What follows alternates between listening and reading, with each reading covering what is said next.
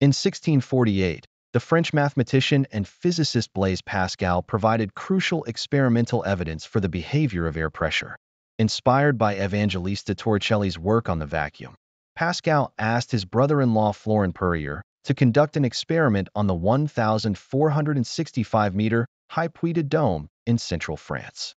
Using a mercury-filled barometer, Périer measured air pressure at different altitudes.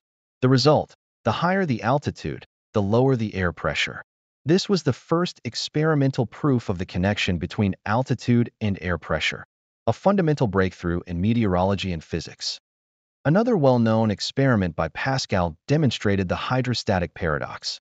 He filled a wooden barrel with water and inserted a narrow, several meter long tube into it.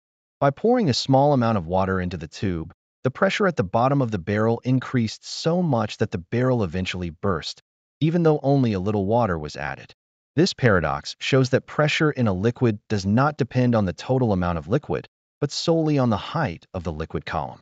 Both experiments highlighted Pascal's brilliant ability to demonstrate physical laws in a vivid and understandable way.